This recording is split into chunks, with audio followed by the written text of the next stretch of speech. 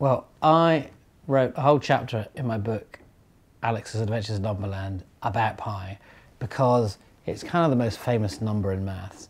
It's the sort of celebrity number. Pi is the simplest possible ratio of the simplest possible shape. So the simplest possible shape being a circle, really, and pi is the ratio of all the way around it to all the way across it, its circumference to its diameter. And the Babylonians first thought it was about three. In fact, they wrote it down as three. What is interesting is that it's the simplest possible ratios of the simplest possible shape, but it's the most complicated, kind of ugly number. It doesn't slice neatly. It's what's called an irrational number, which means that if you were to express it as a decimal, the decimals just go on forever without ever repeating.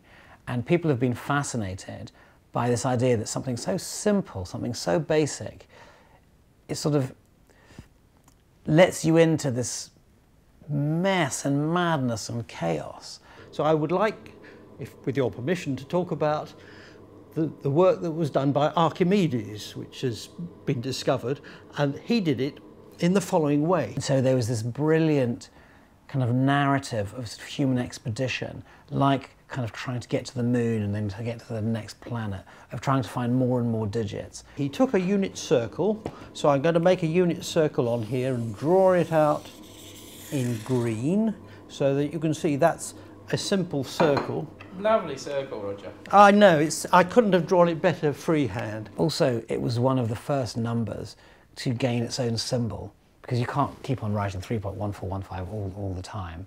And once it gained the you know, pi, probably short for periphery, um, this symbol, it just became quite iconic. Now I'm going to draw inside a triangle and I'll try and make this have equal sides, so we call it an equilateral triangle. So just say you were an ancient Egyptian wheel maker or something, pi is going to come up because you're going to be need to calculating the size of you know, of, of, of, rims and spokes and things like that. Now, if I were to walk around this path all the way, all the way round, that is a longer path for me to walk than the path that goes in a straight line between these points, between these points, and between these points. So you can see this perimeter is bigger than that. So then he went to the next stage and put another little triangle in here, and another one there, and another one there, and you get a hexagon. That just means six equal sides.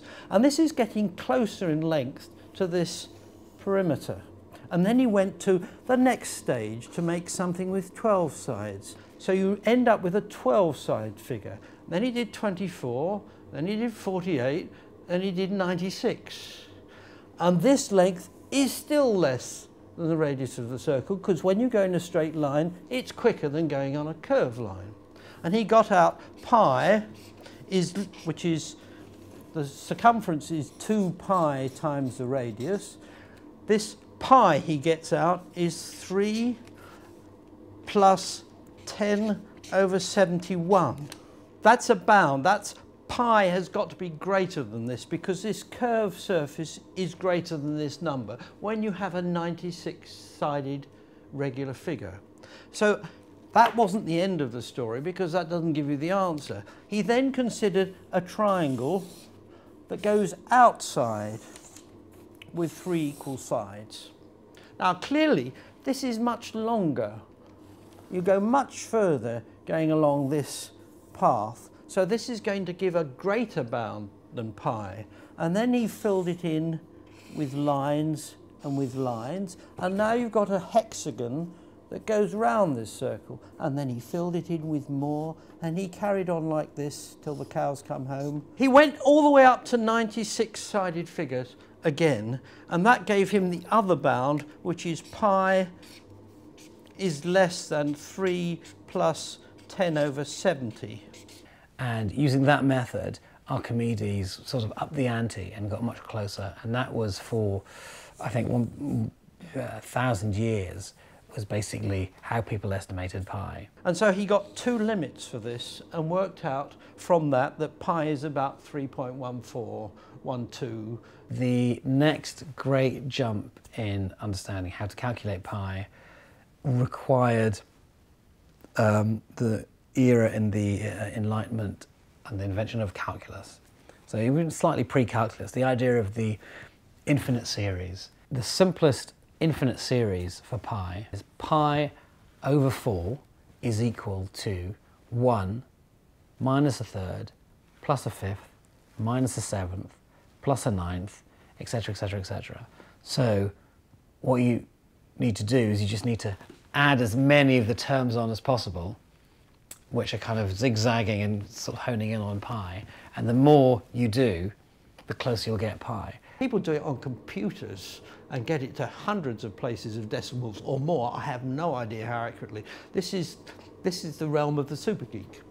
The better the computer's got, the more digits they want. And now, I think three or seven trillion digits in pi has been the, uh, the last one that's decided. Remembering the digits in pi is just as difficult, or just as easy. It's just exactly the same as the digits in the square root of 2, square root of 3, um, phi, e, but no one wants to rem- memorize those ones. They want to memorize pi. I wouldn't be doing my job properly if I didn't ask you how many digits you can remember pi to. 5.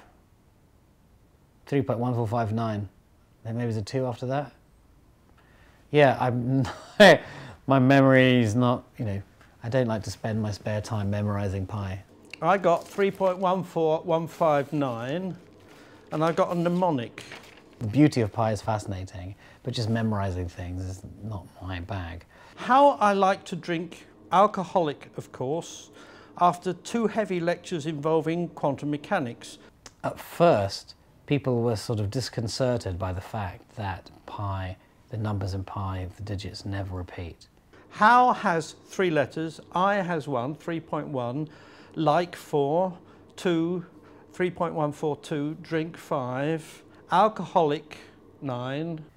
But actually, this fact they don't repeat is actually what's fascinating. Of 2, and then we're getting where I don't know, 2, 6 course, after 5, the heavy lectures, the pattern, uh, they're so devoid of any pattern that actually the digits in pi, if taken as random numbers, are the most random numbers that, that we know of, really. They pass sort of every test for randomness with, with, with, with flying colours. After five, the three, heavy five, lectures, mm, I can't count eight, involving quantum mechanics. And you can get even longer ones than these. These are ways of remembering it. If you can remember the phrase, but of course I can't remember the phrase, I prefer to remember the number. What you had during the 1970s and 80s was a, a sort of arms race between America and Japan, where you know, the two great tech nations developing their supercomputers and really no one really cares what digit is the two billionth digit in pi is, but you want to do it because it shows how strong your computer is. They're not interested in the digits in pi because it's going to be any use in terms of doing any calculations with circles. Because just say, you know, you're a high precision wheel design or something, or even if you're doing something for like a spaceship, 10 pi to 10 decimal places, that's probably more than enough. You're just never going to need that much, but now we have it to several trillion decimal places. To a physicist, there's an engineering approach that if you've got it on your calculator to enough significant figures, you really don't care. Because most of the time when we're working in physics, you work to two or three significant figures. It's good for testing computers, and it's also a fantastic to have this set of beautifully random numbers. It's kind of perfect chaos.